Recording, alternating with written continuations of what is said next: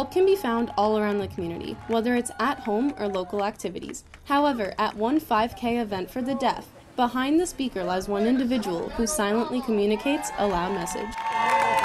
Acting as a liaison for both the deaf and the hearing, interpreters make communication less difficult for the two parties involved. However, interpreters are not the only ones that help the deaf community. With one middle school teacher, acting as not only an interpreter, but also an educator. I help them with any content that they don't know, mostly math, and help them with any homework or assignments, and really just break down sometimes what they're doing in class to a level that helps them understand it. Hmm, how do they help me?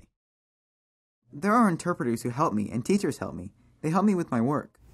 This is like study hall. I'm studying English and working on my sign language. And the teachers help me so that I understand. This class helped me a lot because some of the questions in my homework I don't understand well. I need some personal understanding, so I use assistant interpreter and teachers.